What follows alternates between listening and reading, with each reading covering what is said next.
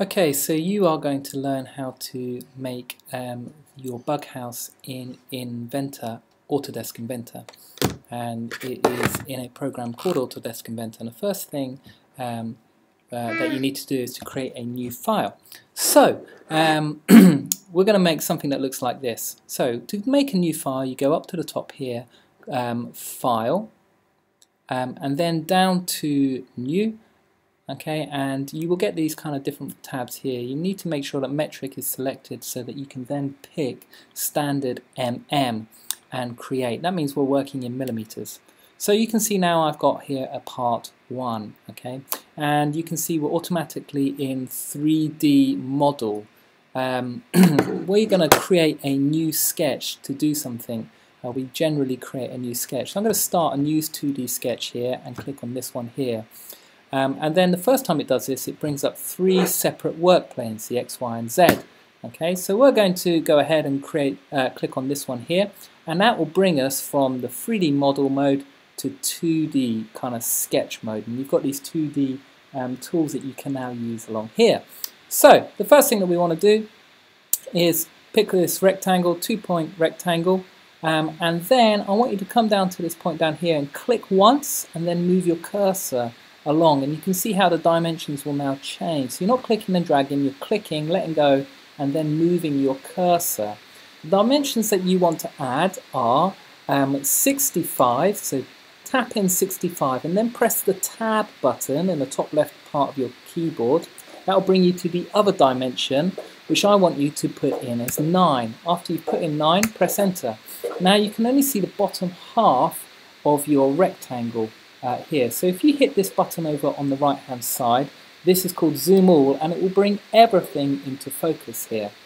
The next thing I want you to do is whilst this is still highlighted, if it's not, just click it again, I want you to create another rectangle at the bottom which is going to be our halving joint. So you're going to click that um, and bring it along. Now um, it needs to be 6 millimeters high, so I'm going to change that to 6 and it's going to come in by 4 millimeters like that. Okay, so we've got two rectangles, one inside the other. Once you've drawn this at the correct dimensions, I want you to finish your sketch by clicking on this button. As I do that, look how it moves from sketch back to 3D model here. So finish sketch, um, and we've gone back to our 3D model. I'm going to zoom all again so I can see everything. and then I'm going to extrude, that's this button here. Now you need to select which area you want to, to extrude and it's going to be this area here that we extrude. We're going to click on this area here um, and if you can't see this drop down box here uh, you can only see this and it's much better to use this drop down menu. So I want you to click on this drop down menu um, here and I want you to change this from 1 from 10, 10 to 105 like that. Click OK and then once again zoom all. Okay, so that is um, our part there. Next thing that we're going to do is we're going to create um, the area which has a kind of slanted roof on. So we're going to start a 2D sketch. So click on this button, drop down menu, start 2D sketch, and then select this front area here. Okay, that's now gone and put a sketch on that area. Zoom all so you can see the top. And I want you to click on the line tool, come up to the top left hand corner, make sure you get it bang on in that top left corner and then click once. Now I want you to come down, moving your cursor, so you're not clicking and dragging, you're just clicking once and letting go and moving along. And you can see how the dimensions change, and this time it's the degree that changes. We want to, don't worry about the dimension which is highlighted at the moment, just press tab to bring you up to the degrees and tap in 45.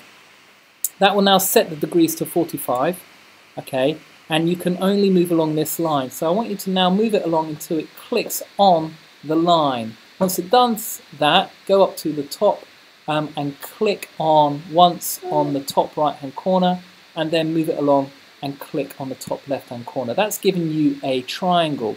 You're going to finish that sketch and this time you're going to extrude it once more and select that area. Can you see how it selected it for you? But we don't want to extrude it up. We actually want to cut. So you're now going to use the this uh, second button here to press cut. Um, it's already set it to 105, which is fantastic, and you're going to click OK.